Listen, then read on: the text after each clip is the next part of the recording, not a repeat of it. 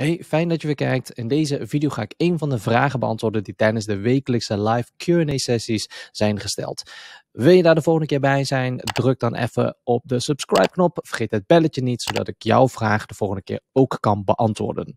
Heb je meer dringende hulp nodig? Uh, of wil je dat ik jouw bedrijf, jouw business één op één naar een hoger niveau ga tillen?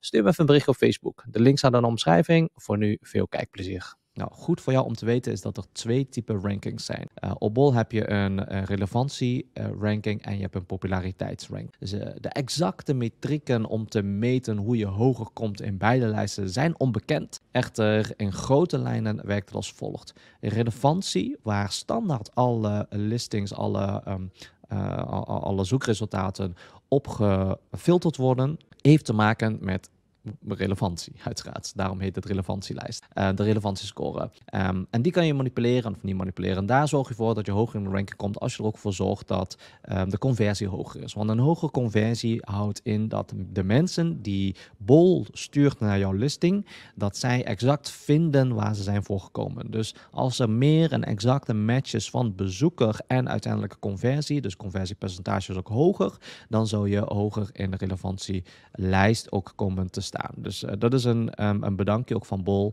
Um, uh, waarmee ze willen uh, aantonen van hey, dankjewel, je hebt je best gedaan om een, uh, om een aanbod te creëren en onze klanten die um, krijgen waar ze, waar, ze, ja, waar ze voor kwamen. Dat is een relevantie ik, dat is niet alles wat erom uh, bij komt kijken, maar dat is het grootste cijfer. Of een van de grootste pijlers die bepaalt hoe hoog je in de relevantiescore komt. Daarnaast komt er natuurlijk sales, de conversie, bezoekersaantallen, whatsoever. De tweede lijst is populariteit. Populariteit heeft voornamelijk te maken met het aantal sales dat er plaatsvindt. Dus als je sorteert de populariteit, heb je vaker de, de meeste sales, de listing met de meeste sales die bovenin staan. En er zijn nog ook meerdere factoren die hierop impact hebben.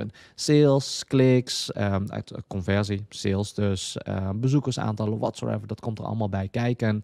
Uh, maar voornamelijk het aantal sales. Dus uh, op je vraag ja, hopelijk heb ik jouw vraag hiermee beantwoord. Het zijn dus twee lijsten met twee verschillende doeleinden. En ja, jou, aan jou de uitdaging om jouw listing zo goed mogelijk te optimaliseren, zodat je ook in beide lijsten hoog komt te staan. Wacht, voordat je wegklikt, ik wil je wat vragen. Heb je waarde uit deze video gehaald? En zou je meer gratis content van me willen zien? Druk dan even op die like-knop. Dat waardeer ik ontzettend. En ik beloof dan dat ik mijn best doe om meer gratis waardevolle content te plaatsen voor je. Zodat jij er wat aan hebt. Zodat ik blij word, jij blij wordt, iedereen blij wordt. Dus druk even op die like-knop. Bedankt.